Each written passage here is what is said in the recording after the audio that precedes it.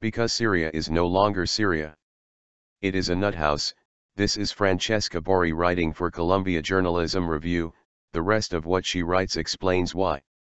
There is the Italian guy who was unemployed and joined Al-Qaeda, and whose mom is hunting for him around Aleppo to give him a good beating, there is the Japanese tourist who is on the front lines, because he says he needs two weeks of thrills, the Swedish law school graduate who came to collect evidence of war crimes, the American musicians with bin Laden-style beards who insist this helps them blend in, even though they are blonde and 6 feet, 5 inches tall.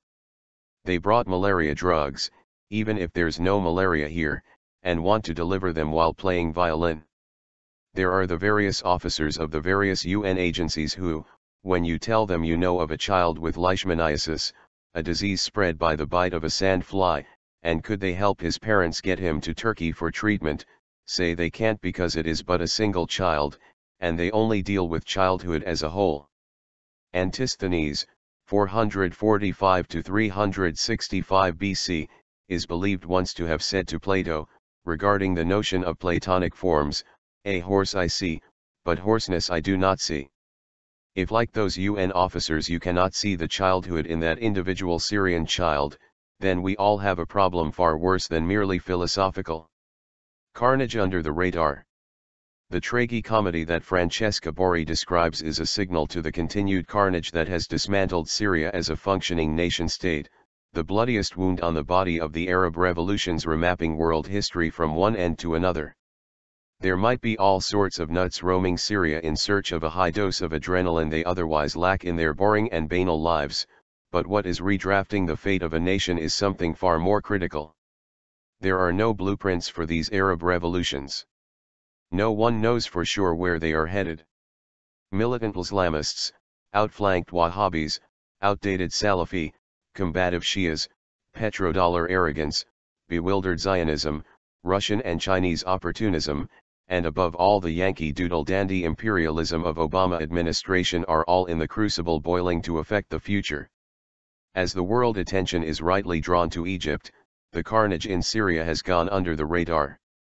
This is all but natural, at a time when attention spans are limited not just by the frequency but also by the rapidity of headlines, in and around the Muslim world, in the rest of Asia and Africa, in Europe and the Americas. Getting lost in the thicket of the woods might also be the best way to see the bigger picture and the terrains of history unfolding. What is happening in Syria, however, is perhaps even more critical than what is happening in Egypt, for in Egypt we have a democratic uprising having reached its own logical conclusions and unfolds dialectically towards newer horizons, but in Syria, the retrograde forces of the old world are putting a stiff resistance and muddying the water and clouding our vision. What is happening in Syria? The ruling regime is slaughtering its own citizens without the slightest hesitation to stay in power, the peaceful opposition has now yielded to militant and armed gangs of one sort or another, who seem to be far more hostile to each other than to toppling the regime. Competing rebel factions in Syria, reports the New York Times, are increasingly attacking each other in a series of killings, kidnappings and beheadings, undermining the already struggling effort to topple President Bashar al-Assad. The open hostilities could no longer be contained. When a Western-aligned group, the Free Syrian Army, demanded that a Qaeda-linked rebel faction, the Islamic State of Iraq and al-Sham, turn over the suspected killers of a prominent commander who was shot dead commanders with the Free Syrian Army warned that the broader movement against Mr. Assad was being threatened by the conflict between itself and the Islamic State. What we have here is first the aggressive degeneration of a nonviolent civil disobedience demanding civil liberties into armed uprising, fueled by Saudi Arabia and other Persian Gulf potentates, and then the metastasis of that militarization into competing factions, which for American media is color-coded as Western-aligned group, the Free Syrian Army, and Qaeda-linked rebel faction, the Islamic State of Iraq and al-Sham. So far as pro-Israeli American news outlets are concerned, the world is divided between the West and anti-West camps, and much of what is happening in Syria is read in those terms, Syrian rebels have a new source of weapons and cash from inside Kuwait, report Fox News, and their benefactors in the oil-rich state are sending the aid to the most militant and anti-West factions involved in the fight to topple Bashar al-Assad. The role of Saudi and Qatar governments and individuals in the funding and arming of Islamist fighters in Syria has been well known since the civil war began more than two years ago. But now, guns and money are flowing from private sources and Salafist-controlled NGOs based in Kuwait, and they are going to rebel factions aligned with al-Qaeda. Covering Syria. The American media-led labeling of these factions, pro-West, al-Qaeda-linked, etc are all fine and dandy for the fast food culture of instant consumption and easy digestion. But the far more critical vantage point is from the perspective of the Syrian civilian life and liberty, for parents and children, civil servants and laborers, men, women, and students, whose daily lives are shattered, and forced into refugee camps from Lebanon to Jordan, awaiting the return of that initial leveling ground where the citizens of a future republic will define the terms of their democratic future. In the making of that democratic future, neither being pro-West or Al-Qaeda linked has any meaning or place. BBC is not any better in its reading of the scene, dividing the battlefield of the opposition in terms of Islamist and moderates. Reporting the murder of a senior rebel commander in Syria by rebels from a rival group BBC reports, Kamal Hamami, of the Free Syrian Armies, FSA, Supreme Military Council, was meeting members of the rival group to discuss battle plans. An FSA spokesman said he was told by the Islamic State of Iraq and the Levant that they had killed Mr. Hamami.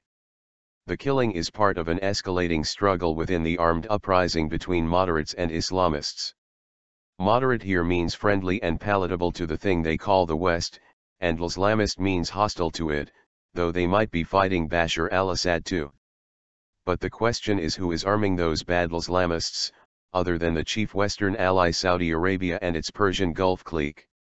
In the midst of all the carnage remain the Syrian people themselves, those peaceful protesters who are the silent majority that might now be quiet in the midst of the violence, but will be heard again once these brutish conquerors come down off their horses and Humvees to rule.